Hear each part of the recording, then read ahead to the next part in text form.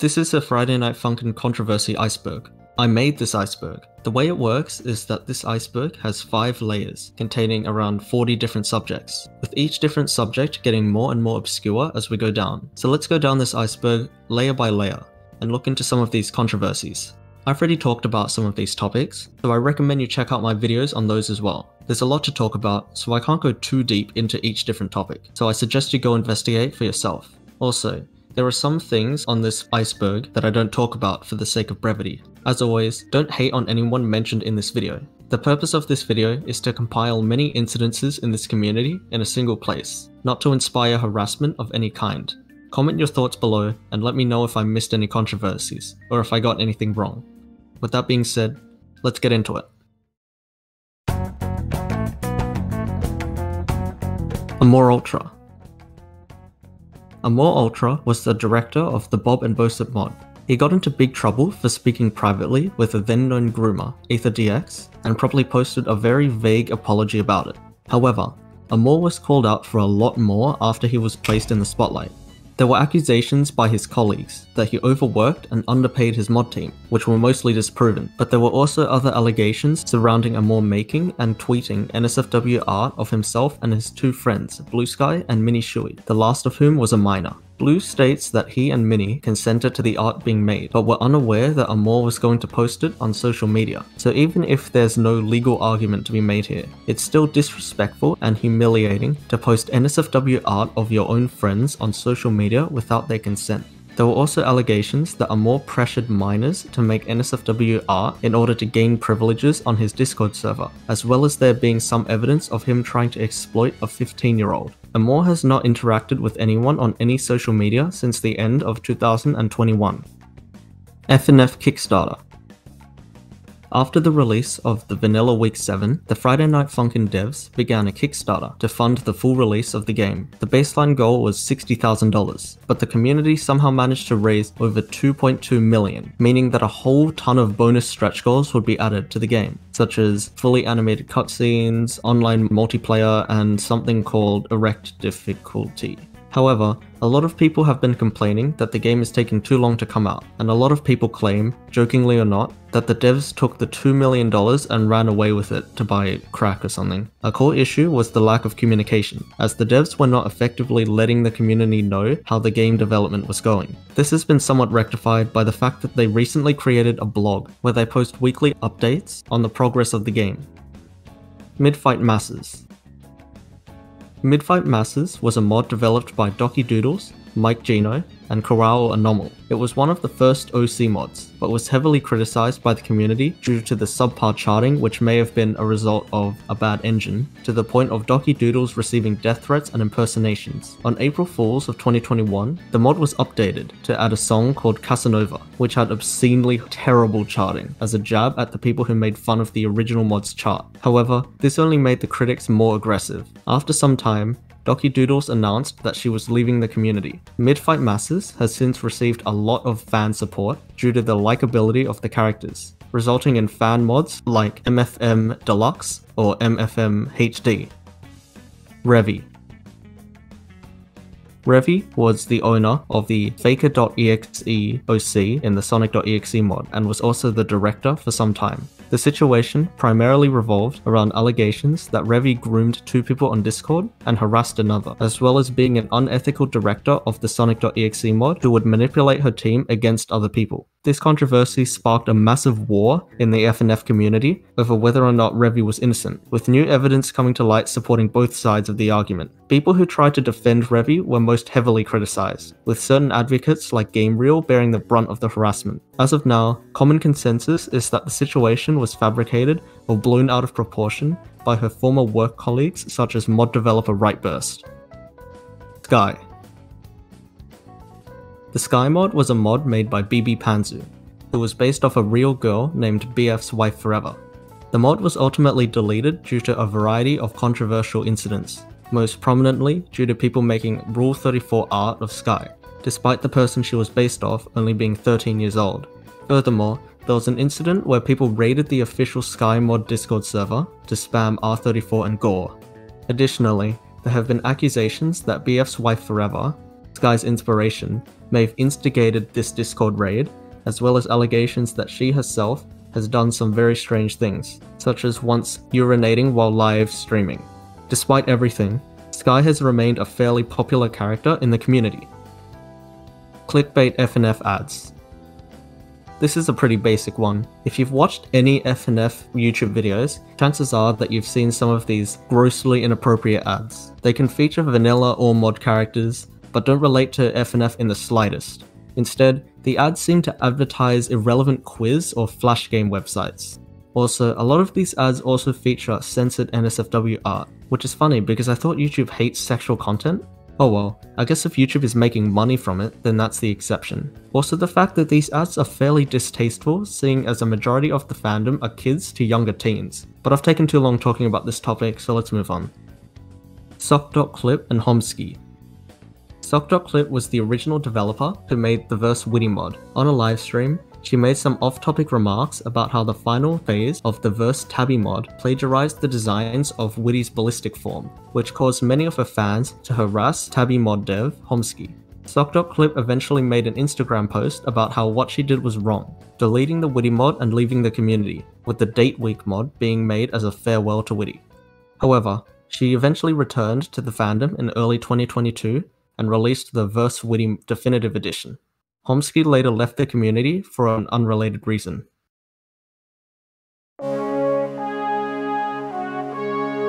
Agoti Verse Agoti was a very popular mod about an OC, obviously named Agoti. The devs even made an official Agoti Twitter account, run by the person who owned the OC, Evan, role-playing as Agoti. However, he came under fire for blatant anti-LGBT behavior, namely saying frick Pride Month and claiming that it's just an excuse to complain about bigots. He also apparently allowed someone named Squizzle Dizzle, a person thought to be a transphobe at the time, onto a Minecraft server, and brushed it off as people being sensitive when he was confronted about it. Evan later made a twit longer where he attempted to justify his actions by saying that he only acted the way he did because he got too absorbed into role-playing as Agoti. He eventually transferred ownership of the Agoti mod to fellow modder Sugar Ratio, who would later turn it into the FNF Entity mod. Game Banana attacked. In early September of 2021, Game Banana, one of the main forums where FNF mods are uploaded, was attacked by a rogue moderator named Patrick Grady, who proceeded to delete many popular FNF mods from the website. At the same time, a hacker known as Arch proceeded to hijack and ban many Game Banana accounts of some FNF modders. Game Banana managed to get the situation under control and implemented a number of measures to ensure a situation like this didn't occur again. However, the damage was already done, and a lot of people stopped trusting Game Banana to instead turn to alternatives like GameJolt. Speed Speed was a commentary YouTuber who made a ton of FNF content, mostly covering individual controversies in short videos. He often used NSFW clickbait thumbnails and titles, spread a vast amount of misinformation, and would often start arguments with other people in the FNF community, like BB Panzu or Kolsan, simply so he could farm this made-up drama for content. Dear FNF Twitter, I do not value your opinion, and I never will. You can't harass me into leaving like you did with Whitty, Midfight Masses, Kade Dev, and numerous others. I guess the toxic side of Friday Night Funkin' Twitter saw this as some sort of challenge to them, being like, oh, hell no, he doesn't think he can get harassed out of here? Well, let's go harass him. He's also just a smug prick who likes to insult the community at every opportunity he can, while ironically milking it for all it's worth. He's also had a lot of beef with other YouTubers like Harley TBS and Miss ZZ, but luckily those incidences aren't related to FNF, so I don't have to talk about them. Speed eventually stopped posting commentary videos and started posting these weird R34 roleplay videos about FNF mods, and then eventually stopped posting videos at all. Retrospecter Retrospecter is a musician YouTuber who created the Verse Retrospecter FNF mod where the player battles against seven of his OCs, representing the seven deadly sins. The original release of the mod only contained Retrospecter, representing Wrath, but it teased another character, Sakuroma, who represented Lust. A lot of people ended up complaining about Sakuroma's over-sexualization, claiming that FNF is a kid's game and should not contain this type of inappropriate content, despite the fact that A. Sakuroma is the embodiment of lust, and B. FNF is not a kid's game. The mod ended up getting restricted on Game Banana, to which Retrospecter responded by saying he would push the boundaries of Sakuroma's week purely to spite the people who thought it was too sexual. He would later post on Twitter stating that he would distance himself from the larger FNF community and mostly focus on his own mods and his friends' mods. The Verse Retrospecter mod is currently unfinished, with no signs of it being ever completed. Slash v slash tan. The slash v slash tan mod was an FNF mod made by 4chan users, for 4chan users, inspired by 4chan users. Due to said 4chan inspired elements, there was a lot of disagreement about the contents of the mod. In particular, the fact that one of the songs was named after the N word, and the existence of a sexual shock comic being hidden in the game files.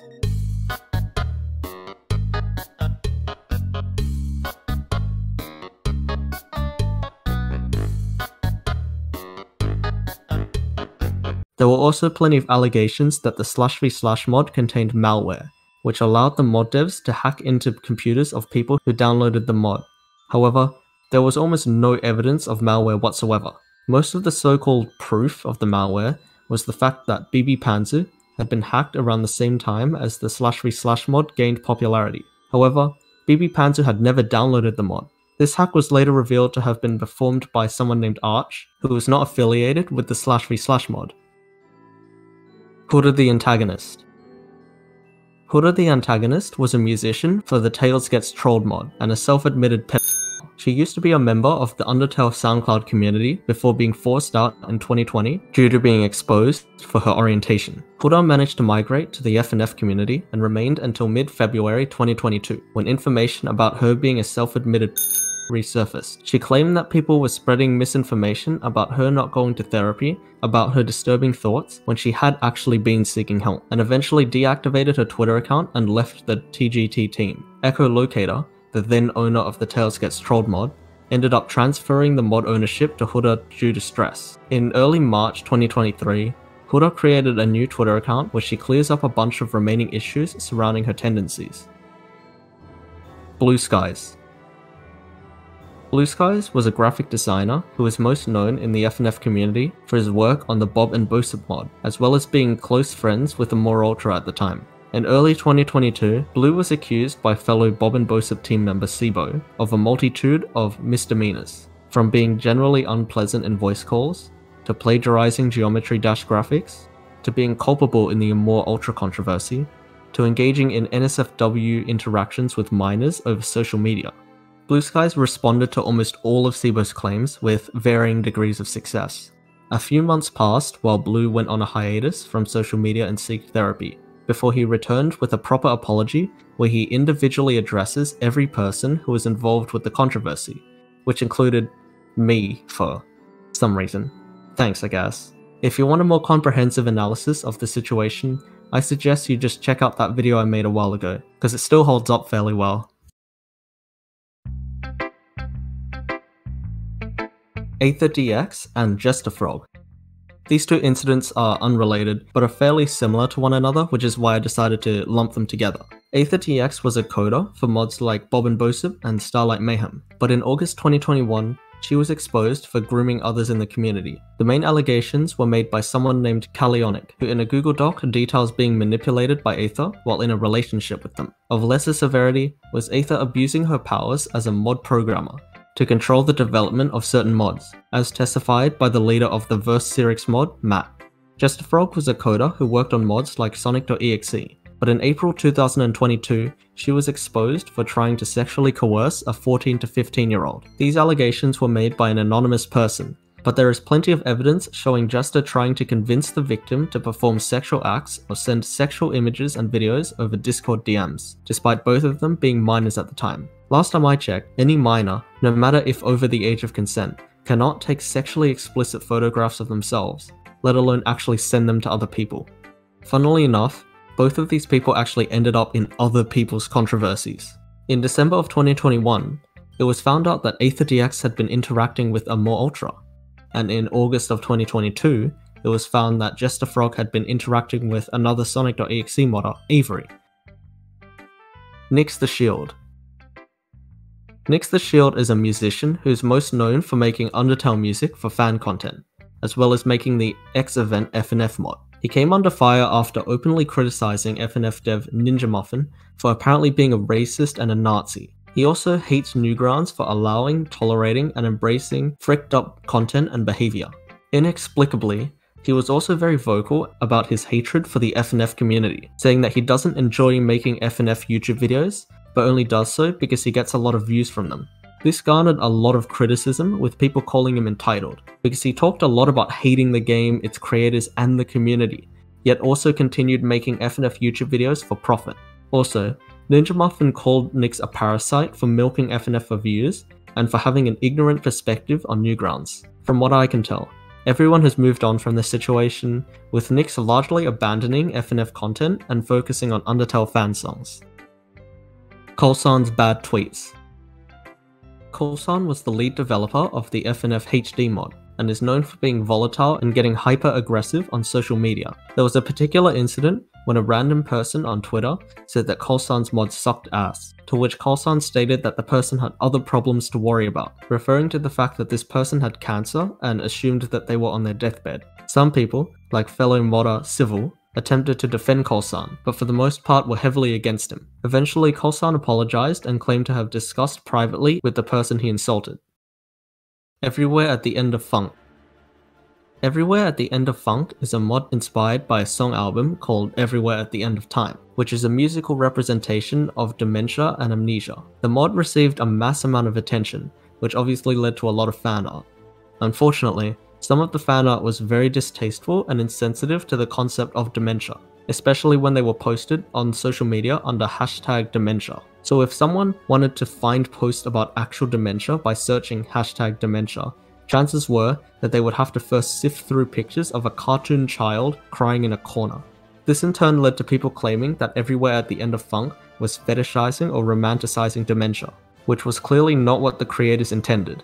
This issue was solved by the creators urging people to use hashtag everywhere at the end of funk instead of hashtag dementia when posting fan art, as well as posting a twit longer explaining their stance on dementia. Funky Friday Potential Lawsuit Funky Friday is a Roblox game where you can essentially play FNF songs against other people in a lobby. It's pretty fun. The game was created by a group called Lyte Interactive, but was later bought by a larger company called GameFam Studios. GameFam proceeded to add microtransactions to the game, which is already questionable seeing as this company was profiting off of a fan game that was inspired by a free open source game. However, it got worse in early December 2022, when GameFam announced a partnership with Sega and planned to integrate official Sega approved Sonic content into Funky Friday. I don't think I need to explain why it's weird for a company as big as Sega forming a financial relationship with a Friday Night Funkin' fan game without getting any permission at all from the original FNF developers. Obviously, Ninja Muffin and Phantom Arcade were rightfully unimpressed, and even discussed speaking to lawyers about it. However, currently there has been no public legal action taken against Funky Friday.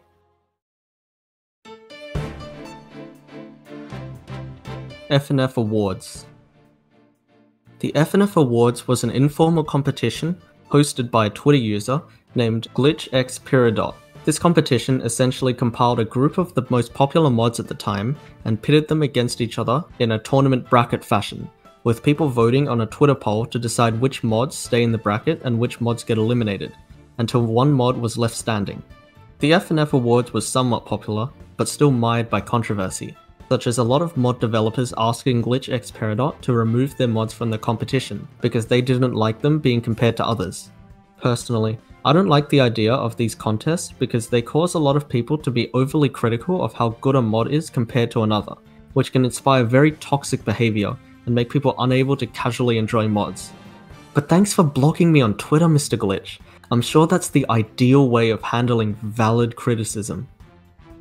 Rage Miner RageMiner is a mod developer most famous for co-creating Smoke Struggle with Atsuover. RageMiner's ex-girlfriend, Lily, accused him of with very little evidence or elaboration whatsoever, and she and her possibly current boyfriend, Ravens Craven, proceeded to mercilessly harass RageMiner for answers and a confession. I think it's worth noting that Ravens Craven is known for being an attention-seeking liar, ableist, racist, and transphobe. His rallying against RageMiner seems very suspiciously like an attempt at rage bait, as well as most of the evidence Raven presents being obviously faked at best. Scarily, Lily and Raven somehow got a hold of some of RageMiner's personal information and released it on her Discord server. RageMiner fortunately addressed the issues, as well as stating that she is pursuing legal action against her two accusers. Currently, both Lily and Raven's Twitter accounts have been deleted, and I can't find any activity on any of their other social medias. Squizzle Dizzle Squizzle Dizzle was the creator of the Verse Beach Brothers mod. In early June 2021, he made a tweet where he proclaimed himself as unapologetically transphobic. A few days later, he tried to justify what he said as a joke, but very few people believed him at all especially since he made that controversial tweet during Pride Month. A few months later, someone named Carlosis ST made a Google Doc detailing further issues with Squizzle, such as frequently using racial and anti-LGBT slurs on Discord and threatening to dox two people simply because they were furries and he didn't like them. However, Carlosis later corrected themselves and explained that it was in fact another person named Lime Lazy who had framed Squizzle Dizzle for everything. In a private investigation, Carlosis discovered that Lime Lazy was actually the racist transphobe, and that all of the screenshots had been faked. In fact, you can find a live stream on YouTube of Lime Lazy just going through subreddits insulting trans people. When they were doing fucking, when they were adding like stupid gay to it, it just f***s the whole dynamic of the of the subreddit. It just the whole thing was fucked. There was no coming back from it at that point because now it was just fucking you had all these fucking and fat just all huddled together in this in this big like ball of just fucking disgusting mess. Furthermore, the doc's threats were complete lies created by Lime Lazy and his friends. And finally, Carlosis alleges that Lime Lazy had actually blackmailed Squizzle into posting that initial transphobic tweet, keeping him quiet by threatening to leak private information. El Taco El Taco was the creator of the Crazy Girlfriend and Carol Ex-Boyfriend mods. In mid-2021, they were exposed for being very openly anti-LGBT. They had promised to make a mod called FNF vs LGTB, though it's hard to tell whether El Taco is actually anti-LGBT or if this is just an attempt at garnering attention. El Taco also created many community posts on their YouTube channel where they made jokes against gay or trans representation in games. During the early stages of the Revie controversy, El Taco also made distastefully offensive jokes about wanting to be groomed by her. Currently, all of El Taco's social media accounts have been deleted, whether by their own volition or if they were forcefully banned, I'm unsure. Fruity Dale Fruity Dale, formerly known as Cell Shader, was a musician who worked on the Doki Doki Takeover mod team. At the end of November 2022, Someone named Mega Blade posted a Google Doc exposing Fruity Dale for sexual harassment. Blade details how he got in a relationship with Lay, but soon found out that she was very inconsiderate of his personal time and made unwanted advances on him, as well as requesting sexual videos from Blade despite him being very uncomfortable with it. Lay also tried to get in relationships with other people who were already in relationships at the time. Some other people also corroborated by explaining their own experiences with Lay, causing her to apologize and leave all social media. On March of 2023, Lay returned to her Twitter account to post a thread where she apologized to everyone she hurt. But then she deleted her account again, so I don't even know what's going on. As of current, all of Lay's songs have been removed from the Doki Doki Takeover Plus expansion of the mod. Cinder Ashmaker Cinder Ashmaker was a dev who worked on mods like Verse Neon Cat. The owner of that mod, Nathan S., made a community post and subsequently a twit longer about how Cinder was a groomer and a manipulator. He details how Cinder, a 19 year old, would flirt and do erotic roleplay with minors as young as 15, as well as pressure other people, such as Nathan himself, to send her nudes. Furthermore, she has threatened suicide and faked self harm before, as well as admitting to doxing a 12 year old child so that's pretty bad.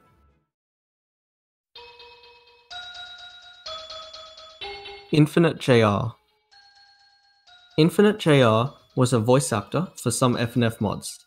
In late February of 2023, he was accused by another voice actor of uploading a large quantity of NSFW art to a Discord server populated mainly by minors under 16.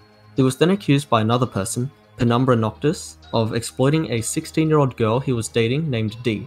such as asking her to do certain sexual things on calls with him, while she was apparently having a mental breakdown. Furthermore, D claims that Infinite would jokingly use the N word, as well as there being screenshot evidence of Infinite threatening the lives of two people, Kenny and Tia, to the point of hoping they have an abortion, being amused at the thought of them killing themselves, and being happy that one of them was doxxed. Ash scamming people. Ash was a coder who worked on a lot of different FNF mods, such as Indie Cross, Bob and Bosip, and Entity. In 2022, he was called out by many people for agreeing to help code their FNF mods, getting paid to do programming, and then slacking off and never doing any work, making constant excuses and procrastinating until the work was inevitably just done by someone else or the mod collapsed due to his laziness. There have also been accusations that Ash was the person who leaked Hypno's Lullaby, Indie Cross, and the Bob and Bosip EX update, as well as allegations that Ash knew that Amore was problematic but kept quiet about it for the sake of EXE update's publicity. As of this video, it has been over half a year and Ash has not even attempted to respond to any of the allegations. Saint the Animator Saint the Animator is an animation YouTuber who makes a lot of FNF animations. In 2021, he was exposed for grooming a 12 to 13 year old while he was an adult. Saint was 29 years old and his victim, Sophia, was 12. They knew each other's ages, but decided to be in a relationship anyway over Discord. Due to the age difference, there was a very obvious power imbalance between the two people in the relationship, with very obvious grooming tactics being put on display. After their relationship ended by Sophia's volition, Saint later stated that he's not a but for some reason he just wanted to be with her. Saint hasn't posted anything on his YouTube channel for over a year, so it's safe to say he's probably off social media for good. Ukraine vs Russia mod. This one is pretty self-explanatory. Someone thought it was a good idea to make a mod where country balls of Ukraine and Russia wrapped against each other. Obviously, the mod was removed from Game Banana for being wildly inappropriate. So that's my FNF controversy iceberg. An observation I made while researching for this video is that the stream of controversies in this community has kind of slowed down recently, and I think that's really good. It's horrible that a fandom would have to deal with so much crap constantly, and I don't know if it's the fact that people are leaving, or people are getting better at hiding their transgressions, or hell, maybe it's because the community is actually maturing. But it's still just nice to see people not at each other's throats constantly. So let's keep that up, okay? As I said at the start of the video, I didn't cover absolutely everything I listed on this iceberg, but if you ask any questions in the comments, I'll try my best to answer them. Also, if I got any info wrong or didn't put a certain controversy on the iceberg, be sure to let me know in the comments and I'll see if I can fix something up. Be sure to like and subscribe, and I'll see you in the next video.